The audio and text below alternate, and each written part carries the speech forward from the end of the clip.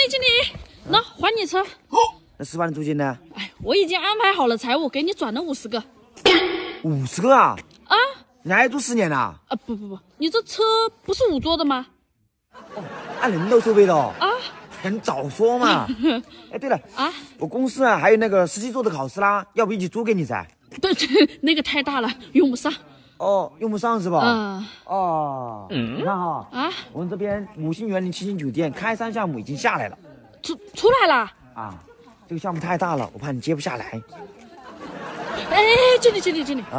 我刚刚想了一下，你看这个项目下来了耶，我那人多，需要租你那个车啊。哦，人多是吧？嗯，需要用车。是是是。那我不租给你，显得我多小气了噻。是嘛，经理，我就求求你把那个车租给我嘛。哦，你都求我了，那我只有租给你噻。哎呦，谢谢经理哈。哎呀，所以说，经理和小邓强强联手，一定创出新的高度。是是是，咱们共奔富裕。